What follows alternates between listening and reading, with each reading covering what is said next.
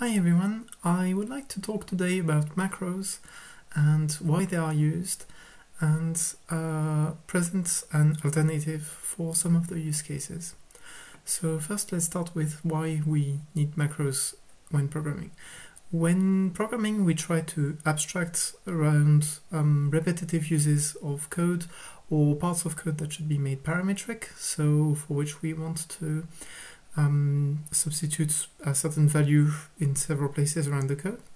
And we can do this for things which we call first class concepts, which can be stored in variables and passed around functions as arguments and this sort of stuff. For things which are not considered first class concepts, we cannot use functions. That's kind of the definition of the first class concept.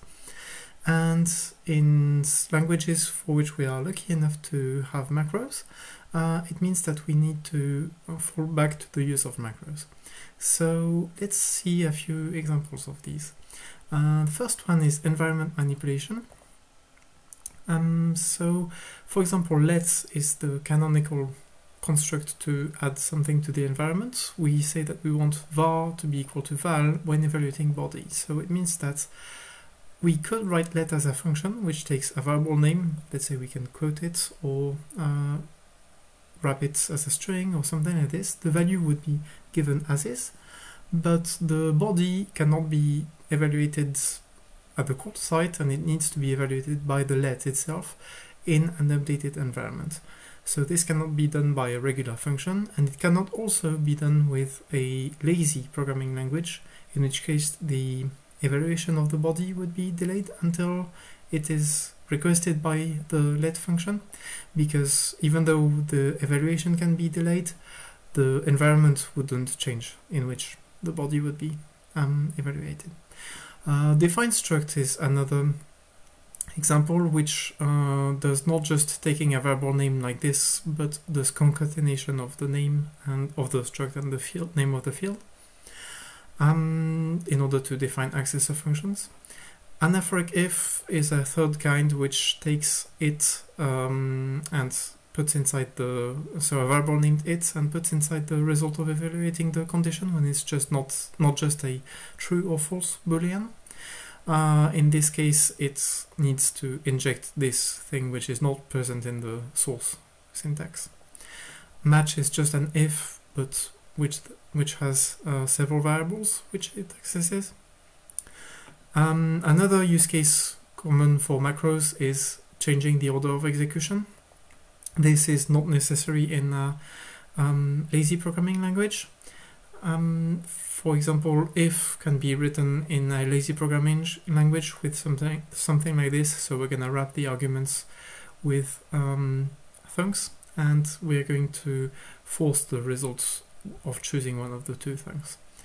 Match works the same way, except that in the case the pattern actually binds some variables like this, um, then we need also to extend the environment in order to evaluate the if cons part. For loops, uh, we have the same thing. We can wrap the body in a thunk, but in this case, and in the case of many loops which loop over lists or collections, we need to also extend the environment with a new binding. So we're back to the need to manipulate the environment. Um, and the last three uh, common use cases are syntactic sugar, so infix syntax, uh, decorative keywords like the equals or the in, which would be necessary in a programming language which uses a more complex parser, but in Racket we just rely on the S expression parser, so these are mostly decorative and um, the, these uh, keywords can appear in multiple places and we'd like this in and the in for for list slash list to be textually the same but different concepts that we can rename for example this uh, or that one. Um, and so when we're importing a construct like let or for slash list we'd be able to rename these independently and uh, also, for example, extracting things from identifiers. So these are all things which are, yeah, syntactic sugar. Um, and the last two um, cases are optimizations, things that we want to evaluate at compile time. and code analysis. So anything like Typed Racket or turnstile, which will propagate some um, information types, etc. Many macros need to pay attention to source locations, but also to tooltips that they uh, will want to make available to the IDE, or in the case of source locations for error messages. Source locations are a bit of a bummer um, for writing macros because you need to pay attention to assign the proper source location, otherwise the user code will have errors which end up in the wrong place, and uh, this can make debugging more difficult for the user. Another um, slightly problematic thing with macros is if we take the source for the document that I'm currently um, scrolling through and start the macro stepper, it will give us a window like this. And let's say that this E identifier should actually be the same one as this, so that this should refer to that and not to this one.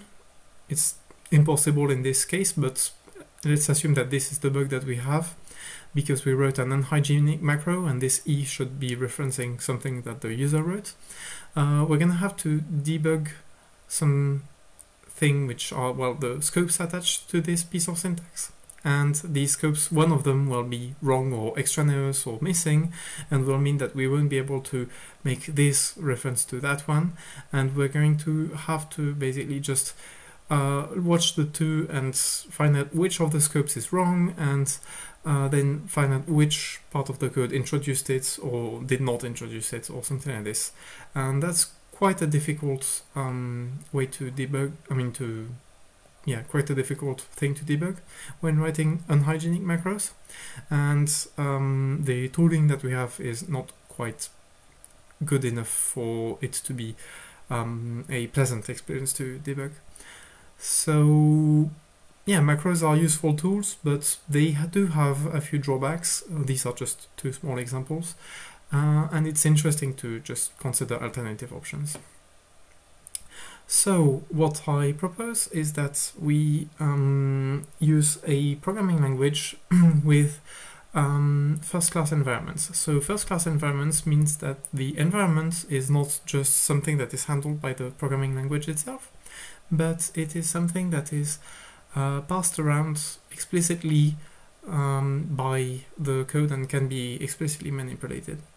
You have this a bit in JavaScript, for example, where you can access the arguments of a function with a special variable slash keyword named arguments.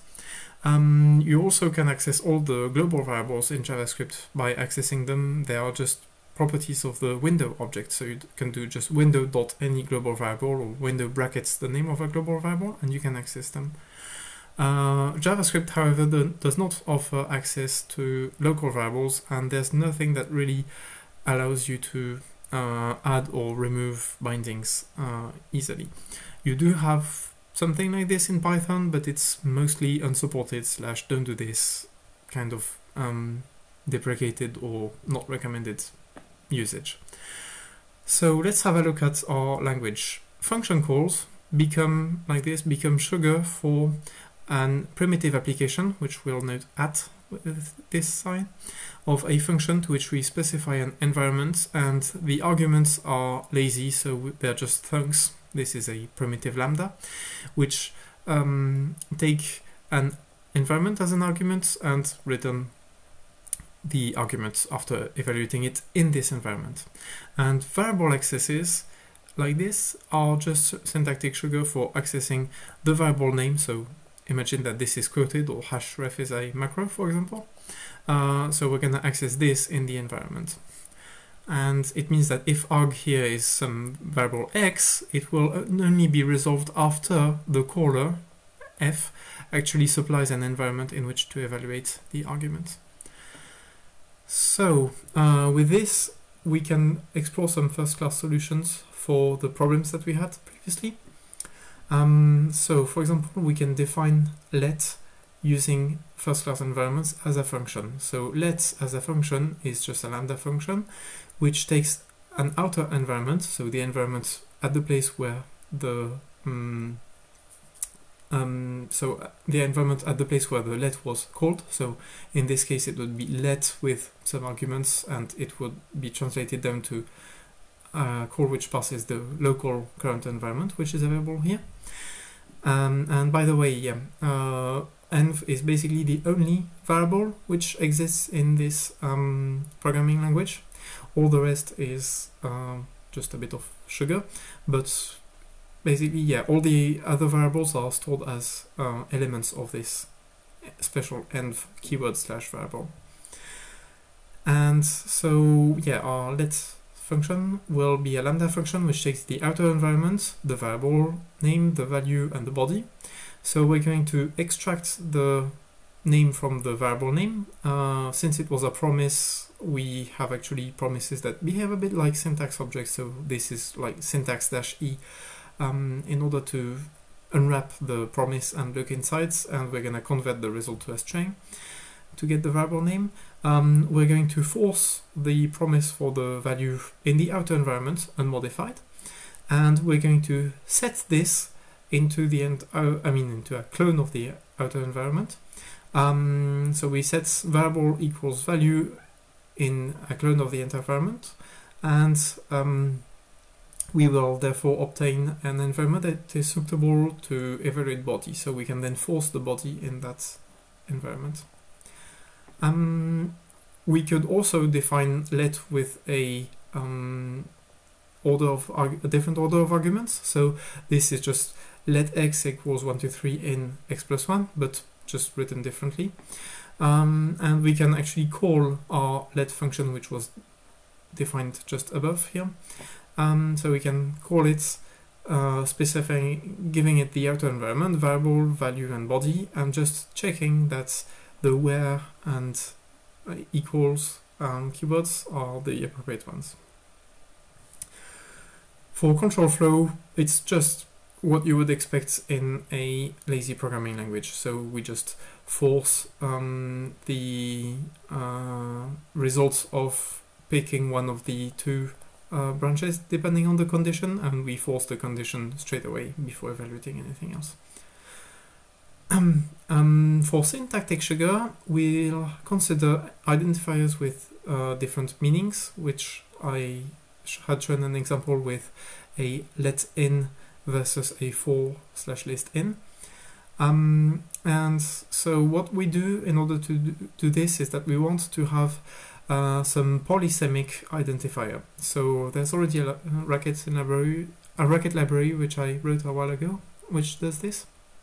And basically, the semantics are roughly that when you are accessing a variable in the environment, um, it gives you a hash table in which you want to access uh, the variable key for by default for variables.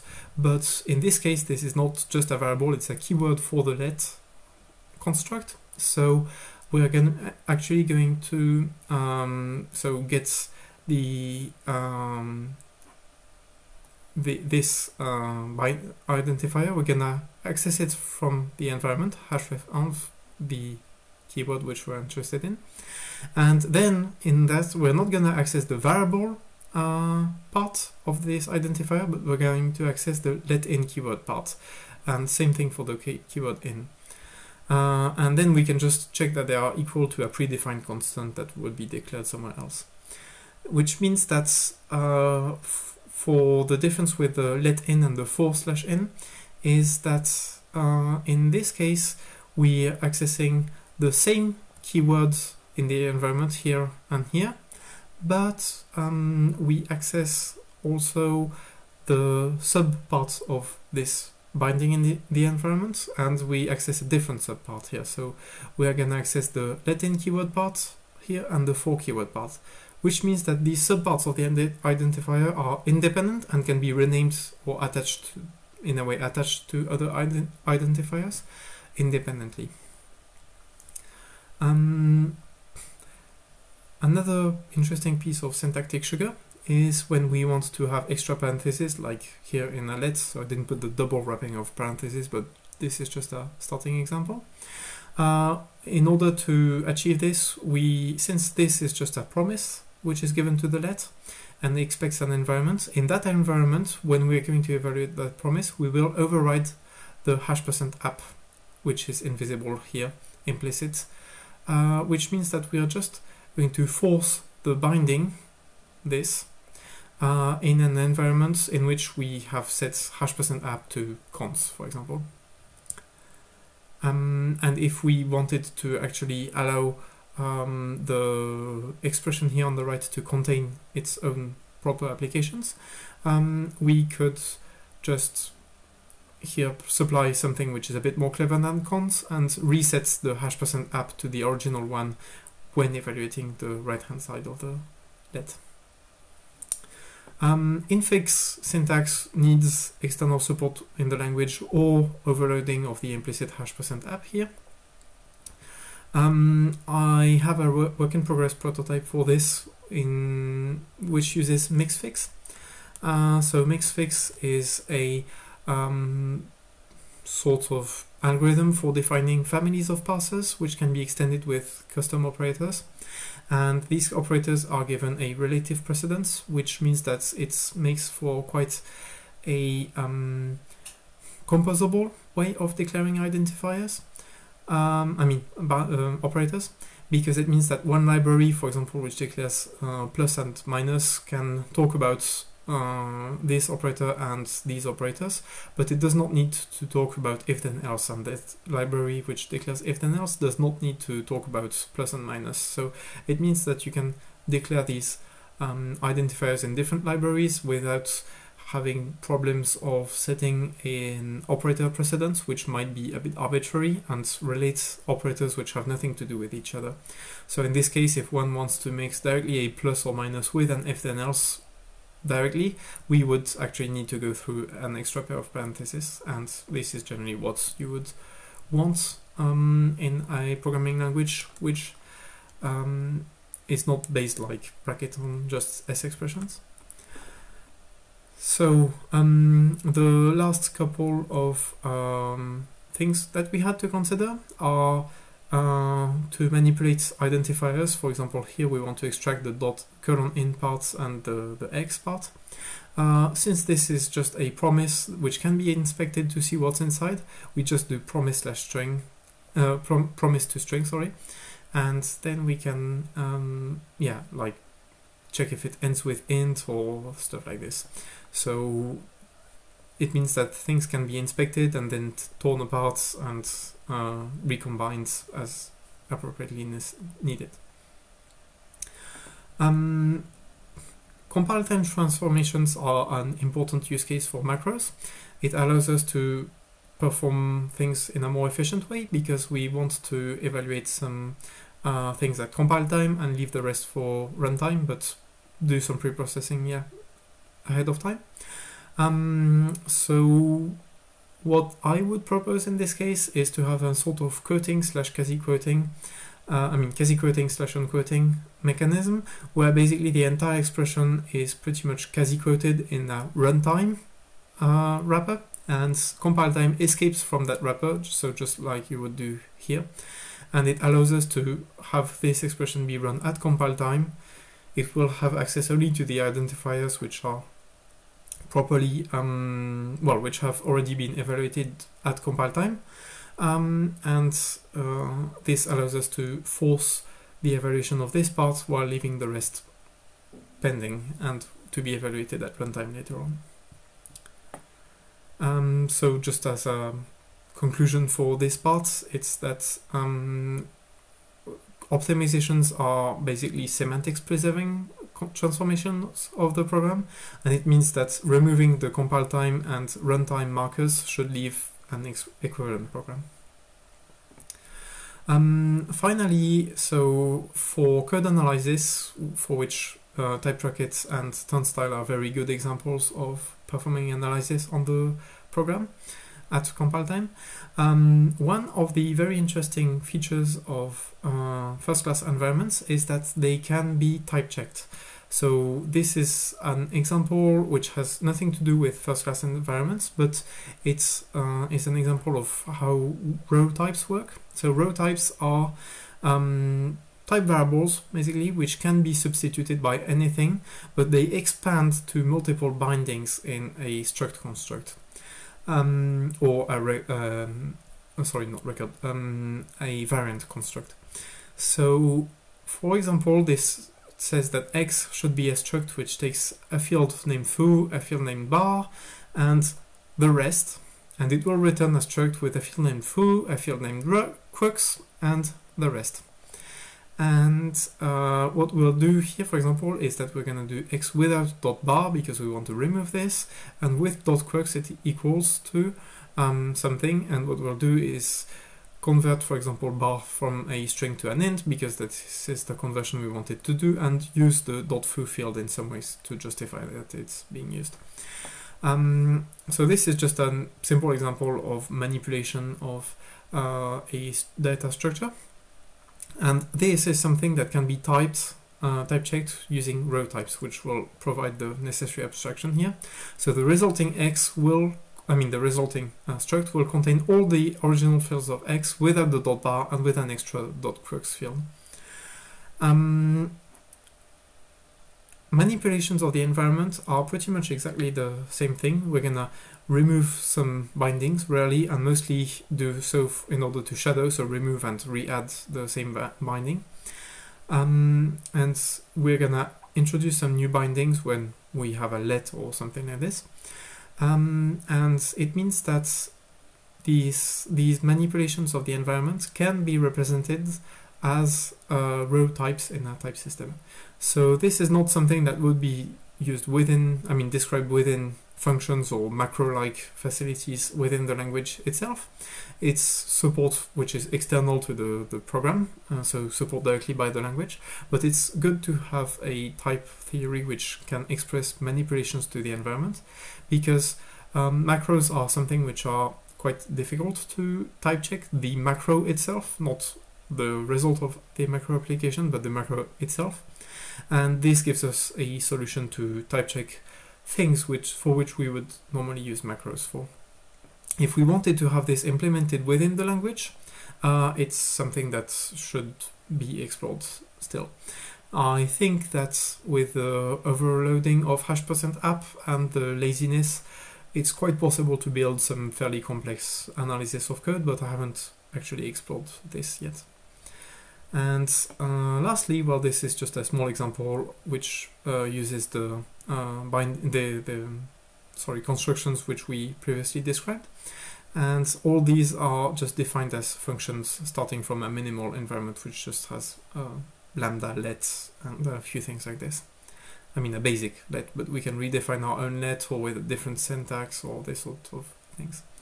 So yeah, that's uh, the um, proposal that I'm studying for having an alternative to macros by using uh, first-class environments which allow us to access from the definition of a function the variables which are supplied as arguments even if they are not bound and um, extend the environment in which the rest of I mean in which other arguments are evaluated so that we can add and modify bindings like this. So um, I think we can go on to questions if there are any. Thanks.